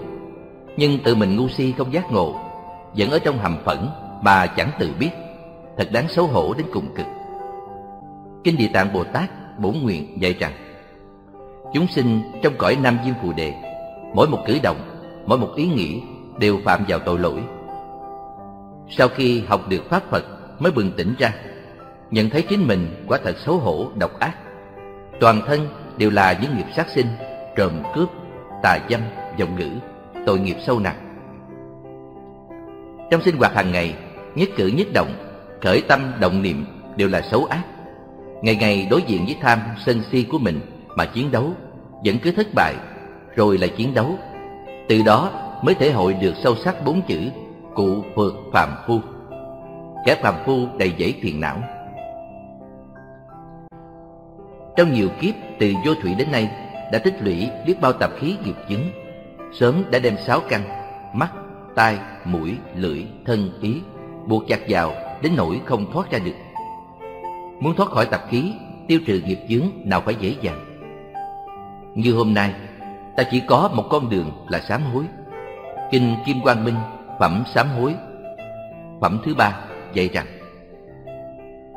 Sở dĩ Kim Quang diệt trừ chư ác, thiên kiếp sợ tác, cực trọng ác nghiệp, nhược năng chí tâm, nhất sám hối giả, như thì chúng tội, tất gia diệt tận, ngã kim dĩ thuyết, sám hối chi pháp, thì kim quang minh, thanh tịnh di diệu, tốc năng diệt trừ, nhất thiết nghiệp dưỡng Tạm dịch, chỗ gọi là kim quang, diệt trừ các điều ác, cho dù trong ngàn kiếp tạo nghiệp ác nặng nề, nếu có thể một lần chí tâm cầu sám hối, thì những tội lỗi ấy hết thảy đều tiêu trừ.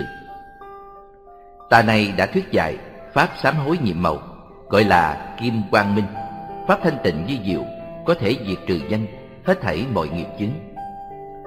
Pháp sám hối kim quang minh này là pháp bảo vô giá. Chúng ta là phàm phu trong thời mạt pháp của cõi thế giới, có đủ năm sự xấu ác mà nghe được pháp môn này. Chính là nhờ đã từng đối trước trong trăm ngàn dạng ức Đức Phật trồng các căn lành, nay mới có được phước báo này.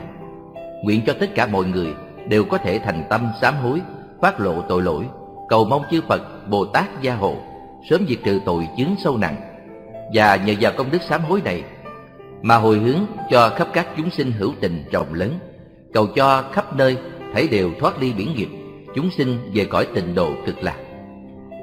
hai Phóng sinh Luận Đại Trí Độ dạy rằng, trong tất cả các tội ác, tội giết hại là nặng nhất.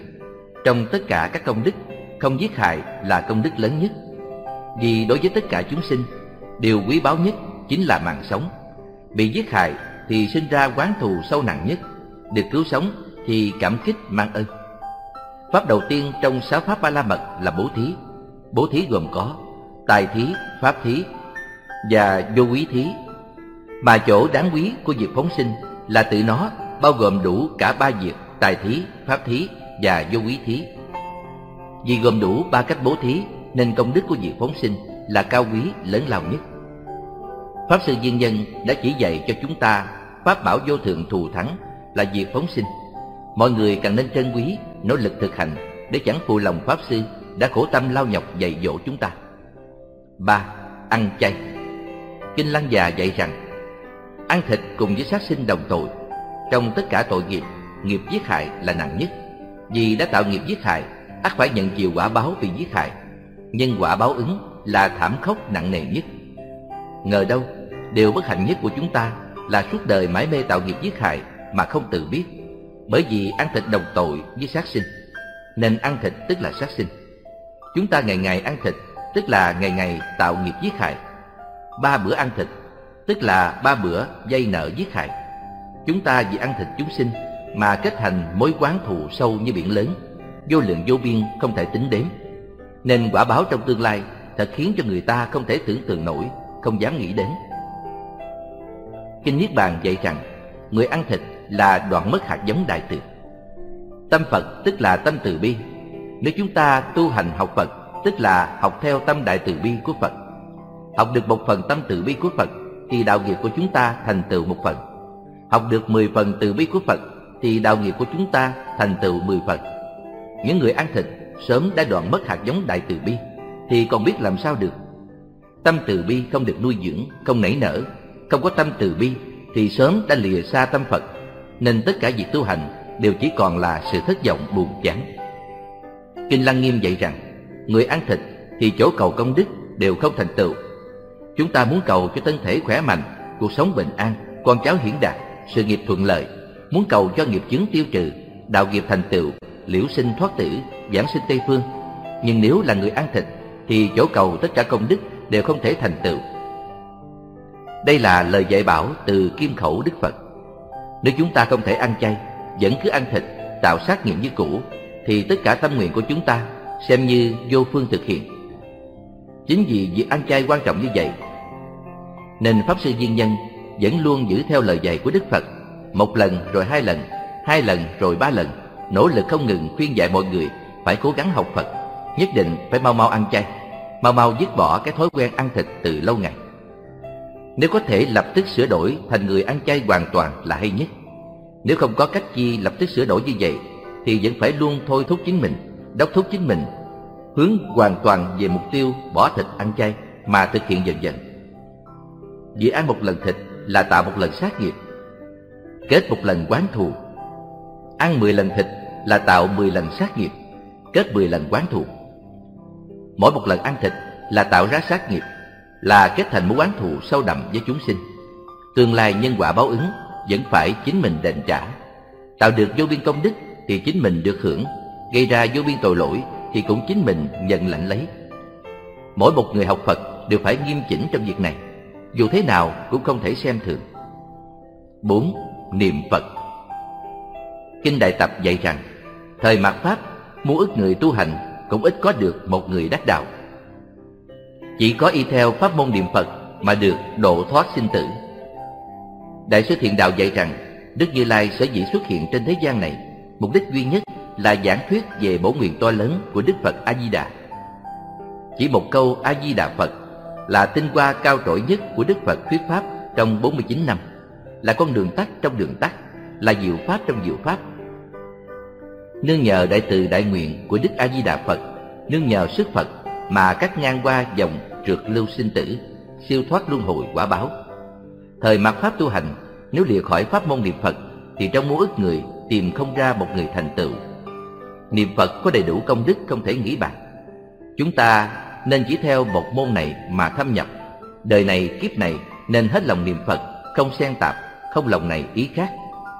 Vì niệm một câu Nam Mô A Di Đà Phật thì tương đương như tụng hết ba tạng, 12 phần giáo điển. Một câu A-di-đà Phật cũng tức là Pháp Thiện. Kinh Đại Tập dạy rằng, nếu ai nhất tâm niệm được câu Nam Mô A Di Đà Phật thì gọi là Pháp Thiền Vô Thượng Thâm Diệu. Một câu A Di Đà Phật cũng tức là Pháp Mật.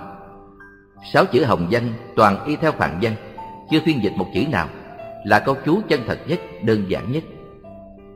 Thế nên, một câu niệm Phật cũng vừa là Pháp Thiền, vừa là Pháp Mật, lại vừa có thể bao quát cả ba tạng, 12 phần giáo điển. Trong kinh dạy rằng, hàng Bồ Tát thập địa xưa nay vẫn chưa từng rời bỏ câu niệm Phật. Khi chúng ta niệm Phật, mười phương chư Phật đều đến hộ niệm. Trên từ các vị Bồ Tát, đẳng giác, dưới đến bao chúng sinh nhiều tội nghiệp. Một niệm đó đều như nhau, chính là một câu Nam Mô A Di Đà Phật. Thử nghĩ xem, chúng ta là phàm phu đầy giấy phiền não, có phước đức năng lực gì mà được phước báo cùng các vị Đại Bồ Tát cùng tu một pháp môn? Các vị Bồ Tát Văn Thù, Phổ Hiền, Quán Âm, Thế Chí đều dạy chúng ta niệm Phật. Pháp môn niệm Phật thù thắng như vậy, khó gặp như vậy, đời này kiếp này chúng ta càng phải nắm vững. Nếu không có thiện căn có nhiều đời nhiều kiếp thì chúng ta không thể được nghe, càng không thể tin nổi câu Phật hiệu này. Pháp sư viên Nhân đem một câu Nam Mô A Di Đà Phật mà dung hội vào mọi việc ăn, mặc, ngủ, nghỉ trong sinh hoạt hàng ngày. Nhất cử nhất động đều không lìa khỏi việc niệm Phật. Đối với Ngài thì chim hót, ếch kêu, mỗi tiếng đều là tiếng niệm a di đà ngài lấy thân giáo thị hiện mà chỉ dạy chúng ta một lòng niệm phật chúng ta may mắn được gặp pháp sư duyên danh là bậc mẫu mực trong sự hành trì niệm phật chân chánh lại còn được thân cận thỉnh ích đây là một phước báo hết sức to lớn nguyện cho tất cả mọi người niệm phật đều có thể một lòng một dạ niệm phật cầu giảng sinh một đời thành tựu để chẳng cô phụ đại từ bi nguyện của đức di đà cũng chẳng quên lời dạy dỗ với sự lao dọc và ân cần chỉ dạy của Pháp Sư. Chương 6 Phóng sinh là nuôi dưỡng lòng từ bi Câu chuyện sau đây được ghi theo lời kể của bác sĩ Quách Huệ Trân. Bản thân vị bác sĩ này là một người tinh tấn tu tập, tính tâm sâu vững, về sau xuất gia trở thành Pháp Sư Đạo Chứng. Tôi có một người bạn đồng học hiện là giáo sư tại một trường đại học ở Hoa Kỳ cũng là một nhà khoa học về thực phẩm nổi tiếng trên thế giới. Khi anh còn đang học trung học, bỗng nhiên mắc phải một căn bệnh nặng. Cha mẹ đưa đi bác sĩ khắp nơi, làm rất nhiều xét nghiệm cực khổ. Một hôm, tại Tổng y viện dinh Dân, kết quả xét nghiệm tìm thấy trong phim chụp X-quang, phần ngực của anh có một vết đen lạ. Nhưng lúc đó bác sĩ cũng chưa có kết quả chẩn đoán chính xác. Người bạn học này của tôi vì chịu rất nhiều đau khổ nên khởi tâm từ bi rất cảm thông với nỗi đau khổ của người khác. Lúc học lên đến bậc đại học, anh bắt đầu học Phật Pháp, lại còn phát tâm thọ trì năm giới. Sau khi thọ giới, anh càng chí thành tinh tấn. Vì kiên trì giữ giới mà từ bỏ học vị thạc sĩ. Sau đó, lúc đang học chương trình cao học ở Hoa Kỳ, bài vở và việc thực nghiệm rất bận rộn. Mỗi ngày anh phải thức đến 12 giờ đêm hay 1 giờ sáng Lâu ngày do học nhiều và làm việc quá sức lại thiếu ngủ, nghỉ cũng như ăn uống thất thường nên dần dần anh thấy xuất hiện một số triệu chứng môi trở nên trắng bệnh. Khi anh sắp lấy được học vị thạc sĩ, lần cuối cùng phải làm một cuộc thí nghiệm đòi hỏi phải giết rất nhiều chuột trong khi thực hiện. Anh vốn đã có bản tính từ bi, lại thêm tinh thần trì giới nên kiên quyết không làm việc sát sinh, quyết định từ bỏ học vị thạc sĩ sắp có được người nhà và bạn bè đều chê trách. Tại sao đã chịu cực khổ học hành ở Hoa Kỳ lâu như vậy mà cuối cùng lại bỏ đi? Biết bao người mong muốn có được học vị này, nay anh sắp có được, sao lại từ bỏ? Chẳng lẽ chỉ vì không muốn giết chuột lại từ bỏ một công trình khó nhọc lâu ngày như vậy hay sao? Lòng từ bi vượt thắng dục vọng công danh. Anh là một người rất ôn hòa nên không muốn biện luận phân trần gì cả. Nhưng tâm từ bi và trí tuệ học Phật của anh đã vượt thắng lòng ham muốn công danh lời lộc của thế gian. Do đó, anh đổi ngành học để không còn phải sát sinh trong việc nghiên cứu. Anh lại phải khó nhọc rất lâu, nhưng cuối cùng cũng có được học vị thạc sĩ. Do tích lũy sự mệt nhọc lâu ngày thành bệnh và anh mắc bệnh ung thư máu. Anh đã trải qua đủ mọi cách xét nghiệm khổ sở. Anh cũng biết được tình trạng vô phương cứu chữa của mình nên từ chối nhập viện. Anh kiên trì ăn chay trường kiên trì và chí tâm niệm Phật. Trong thời gian này, anh lại tiếp tục đeo đuổi học vị tiến sĩ ở trường đại học Wisconsin tại Hoa Kỳ. Ở trong tình trạng bệnh tật như anh, đối với người khác, hắn đã không thể nào duy trì được ý chí và nghị lực. Nhưng cuối cùng, anh vẫn lấy được học vị tiến sĩ ở trường đại học Wisconsin. Trong khi theo đuổi việc học tập, cho dù bận rộn đến đâu, anh cũng không từ bỏ việc sớm tối tụng kinh niệm Phật. Nhờ sức Phật gia hộ, cũng như nhờ sức công đức giữ giới không sát sinh, thành tâm niệm Phật, khiến anh có thể duy trì được cuộc sống an lạc bình thường. Đây là một sự cảm ứng âm thầm, không thể nghĩ bàn. Cuối cùng, anh đã khỏi hẳn bệnh ung thư máu trước sự ngạc nhiên của giới y khoa. Phóng sinh là cứu lấy sinh mạng của chính mình. Qua câu chuyện của người bạn nói trên, tôi nhận ra rằng ai có tâm từ bi thì người đó có một phước báo đặc biệt. Phóng sinh chính là sự khai phóng, sinh khởi lòng từ bi.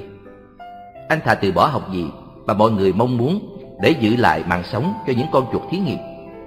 Khi làm như vậy, anh vốn cũng không có chỗ mong công cầu, chỉ vì không đành lòng trước nỗi đau khổ của chúng sinh, lại tôn trọng giới luật của Đức Phật nên quyết không sát sinh. Anh đã ở vào tình trạng kiên quyết, thà trì giới mà chết, nhưng kết quả ngược lại đã không chết mà cũng không phải khổ. Anh hiện nay còn có thể đi đến các nơi trên thế giới để diễn giảng học thuật, sắc mặt của Hồng Hào bình thường trở lại. Tiền bạc, học vị đều không đổi được mạng sống. Khi mạng sống của chúng ta kết thúc, cho dù tiền bạc có nhiều bao nhiêu, học vị có cao bao nhiêu, cũng không cách nào mua lại được một phút sinh mạng. Sinh mạng đáng quý như vậy, cho dù là một con trùng nhỏ, chúng ta cũng không cách nào khiến nó đã chết rồi sống lại. Cho nên khi nó còn sống, phải biết trân quý, tôn trọng sự sống tự do, an ổn của nó. Lúc bình thường, chỉ cần dùng rất ít tiền bạc là có thể cứu giúp tránh được sự sợ hãi của loài vật khi bị giết, có thể đem lại cho nó sự sống. Sao ta lại không chịu làm? Nếu chúng ta thử đặt mình vào tâm trạng phải đối diện với cái chết, hoặc bỗng nhiên mạng sống bị rơi vào trong tay kẻ khác, sắp bị giết hại, thì chúng ta sẽ cảm nhận ngay được tâm trạng khát vọng, mong mỏi được phóng sinh như thế nào.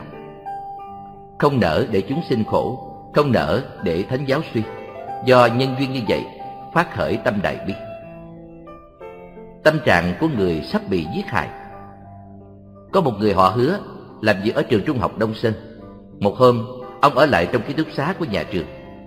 Ban đêm, có một bọn trộm lẻn vào, bắt ông trói lại và bịt kín mắt. Trong bóng tối, ông nghe bọn chúng bàn với nhau là phải giết chết ông, vì ông đã thấy mặt bọn chúng, e rằng sẽ gây bất lợi về sau. Bọn cướp tay cầm hung khí trói gô ông lại. Ông thuật việc đó như sau. Tuy chỉ có ba tiếng rưỡi đồng hồ, mà đối với tôi, với cả một đêm dài dằn vặt, dài nhất trong cả cuộc đời tôi. Ông trải qua một tâm trạng cực kỳ kinh sợ, rối loạn, chẳng khác nào một con vật đang chờ đợi bị giết. May sao trong lúc quảng hốt đó, ông chợt nhớ đến Đức Phật A Di Đà. Nhớ đến thế giới cực lạc là nơi mình có thể sinh về. Do đó, ông dội một lòng niệm Phật, cầu Phật để tiếp dẫn giảng sinh. Không ngờ ông niệm Phật hồi lâu thì bọn cướp cuối cùng đổi ý không giết ông, kéo nhà bỏ đi. Tâm trạng được sống sót sau khi đối diện với cái chết thật sung sướng làm sao. Ông họ hứa này từ đó về sau hết sức đề xướng cổ động cho việc không sát sinh, làm việc phóng sinh. Bản thân ông đã cảm nhận một cách sâu sắc rằng giảm một phần nghiệp giết hại là thêm một phần khí chất từ bi an lành, cũng như công đức niệm Phật thật không thể nghĩ bàn. Có thể khích lệ người phát tâm từ bi là thay đổi nhân quả xấu ác cho cả hai bên. Lời kết Thời mạt Pháp suy di, yêu ma mê hoặc mọi người. Thường thường nghe nói việc giới sát phóng sinh là hành vi ngu si, chẳng có ý nghĩa gì. Tuy nhiên, hy vọng mọi người có thể thâm thiết thể hội và suy nghĩ Đức Phật lẽ nào có thể nói dối hay sao? Các vị tổ sư như Trí Giả, Vĩnh Minh, Liên Trì, Ấn Quang lẽ nào là ngu si cả hay sao? Hàng ngàn, hàng vạn sự thực chứng cảm ứng về việc giới sát phóng sinh từ xưa nay vẫn còn rành rành. Đó là giả tạo hay sao? Hy vọng chúng ta có thể thấu hiểu sâu sắc được tấm lòng của các bậc thánh nhân, hiểu rõ đạo lý sâu xa. Nguyện cho tất cả mọi người đều thấu hiểu sâu xa, nỗ lực đề xướng việc phóng sinh, nắm lấy cơ hội thân người khó được này để tuyên dương, vận động cho việc giới sát, phóng sinh, mang lại sự sống yên vui cho muôn ngàn sinh mạng Đó mới thật là một việc làm vô cùng vĩ đại, xưa nay hiếm có. Mấy lời tâm quyết Thuyết pháp giảng kinh với sách giáo lý nhà Phật hoặc phát hành kinh sách, băng đĩa Phật Pháp biếu tặng cho mọi người giúp cho họ được sớm hiểu đạo lý, thay đổi nếp sống tốt đẹp hơn. Được như thế là hạnh phúc không gì bằng. Đó gọi là pháp thí. Nếu không đủ điều kiện làm những việc ấy thì có thể thỉnh một số kinh sách, băng, đĩa rồi chịu khó đem đến từng nhà cho mọi người mượn xem hoặc đọc cho người khác nghe, nhất là cho những người không biết chữ. Việc làm này thật quý giá vô biên. Đây cũng gọi là pháp thí. Chính Đức Phật đã dạy, trong các sự bố thí, pháp thí có công đức lớn nhất. Đời người trôi qua trong thoáng chốc, đường lợi danh dù rạng rỡ đến đâu, cũng không giúp được gì khi nhắm mắt xuôi tay. Chỉ mỗi một việc tu tập theo chánh pháp mới có thể giúp chúng ta được an vui trong hiện tại, thanh thản lúc qua đời. Vì thế, tích lũy vật chất của cải nhiều đến đâu cũng không có ý nghĩa bằng việc trọng truyền chánh pháp giúp cho mọi người đều được phần lợi ích. Đó là việc làm thiêng liêng và cao cả nhất mà tất cả chúng ta đều nên góp sức. Việc truyền bá chánh pháp luôn cần đến sự chung lưng góp sức của tất cả chúng ta. Khi làm việc hoàn pháp cũng không nên mong cầu công đức. Hãy nghĩ nhiều đến những người quanh ta đang làm đường lạc lối, đắm chìm trong tội lỗi không lối thoát. Hãy mau giúp đỡ, cứu vớt họ, cảnh tỉnh họ để cùng quay về chân lý, tìm ra lẽ sống an vui. Được như thế là chính ta đã làm lợi ích cho Phật Pháp rồi vậy. Bất cứ ai trong chúng ta, nếu có điều kiện đều nên phát tâm góp sức vào việc phát hành kinh sách, sang băng, đĩa cho mọi người xem. Được vậy, cuộc sống hiện thời chắc chắn được an vui, mà con đường tương lai cũng sẽ ngày thêm tươi sáng. Biếu tặng cho người thân một số tiền nhỏ thì lòng ta không vui, nhưng không đủ sức biếu tặng nhiều hơn nữa. Chỉ có một cách là biếu tặng các loại kinh sách, băng đĩa, giảng truyền Phật Pháp, hướng dẫn việc tu tập để xây dựng đời sống thanh cao. Thì dù chỉ một quyển sách, một cuốn băng, giá chỉ mấy ngàn, nhưng quý giá hơn cả tiền trăm bạc triệu. Mấy lời tâm quyết, mong các vị thiền hữu cùng suy xét.